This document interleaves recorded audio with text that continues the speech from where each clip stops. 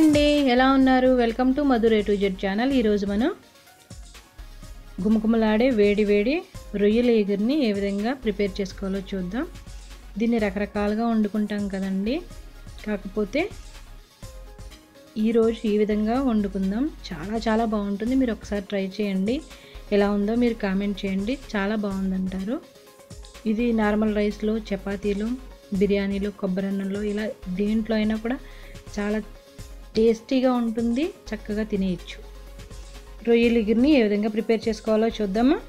ముందుగా స్టవ్ వెలిగించుకుని కడాయి పెట్టుకుని సరిపడా ఆయిల్ని హీట్ చేసుకోవాలి. ఆయిల్ హీట్ అయ్యేంత వరకు వెయిట్ చేశాక మనం హీట్ అయిన ఆయిల్లో ముందుగా కడుక్కొని పెట్టుకున్న రొయ్యల్ని యాడ్ చేసుకోవాలి.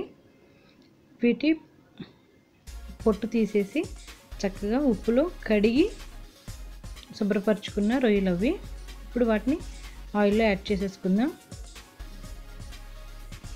ఇవి వాటర్ అంతా ఇంకిపోయి చక్కగా కలర్ మారేంత వరకు కూడా మనం కొంచెం హై ఫ్లేమ్లో పెట్టి వేయించుకోవాలి. మధ్య మధ్యలో కలుపుకుంటూ లేదంటే ఇవి ఒక సైడే మాడిపోతాయి. ఇప్పుడు నీరంతా ఇంకిపోయింది. ఆయిల్ పైకి తేలింది. ఇప్పుడు మనం సన్నగా తరిగి పెట్టుకున్న ఉల్లిపాయ ముక్కల్ని యాడ్ చేసుకోవాలి. రెండు పెద్ద ఉల్లిపాయలు అయితే సరిపోతాయి. నాలుగు పచ్చిమిరపకాయలని చీల్చుకుని రెండు రెబ్బల కరివేపాకుని యాడ్ చేసుకుని ఉల్లిపాయలు గోల్డెన్ బ్రౌన్ వచ్చేంత వరకు మనం లో ఫ్లేమ్లో పెట్టి వేయించుకోవాలి. ఒక ఫైవ్ మినిట్స్ ఉడికిన తర్వాత సరిపడా ఉప్పుని యాడ్ చేసుకుని ఇంకొక ఫైవ్ మినిట్స్ పాటు ఉల్లిపాయలు ఉప్పుతో కలిసి వేగనివ్వాలి. చూసారా? చక్కగా వేగిపోయినాయి. ఇప్పుడు మనం అల్లం వెల్లుల్లి పేస్ట్ని యాడ్ చేసుకుని ఫ్రెష్గా నూరు పెట్టుకున్నదైతే చాలా టేస్టీగా ఉంటుంది. పచ్చివాసన పోయేంత వరకు అల్లం వెల్లుల్లి పేస్ట్ని కలుపుకుంటూ వేయించుకోవాలి.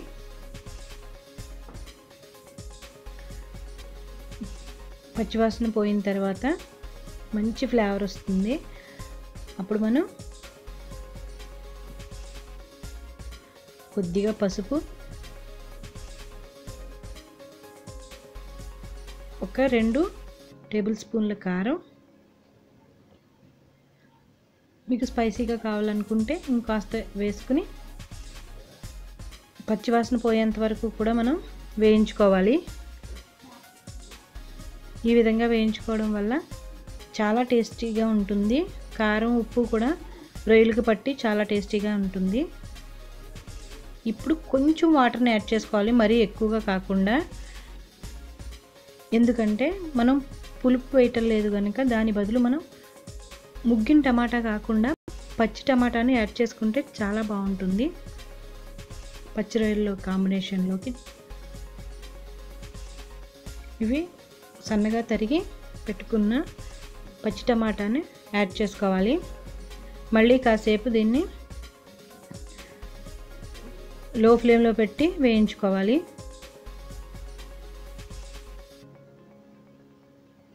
ఇప్పుడు ఒక టెన్ మినిట్స్ ఉడికిన తర్వాత ఇప్పుడు మనం కొంచెం ఎక్కువగానే వాటర్ని యాడ్ చేసుకోవాల్సి ఉంటుంది.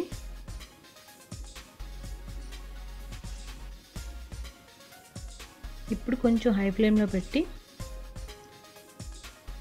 మనం ఉడికించుకోవాలి. ఒక టెన్ మినిట్స్ అయితే పడుతుంది. మూత పెట్టి ఉడకనిద్దాం.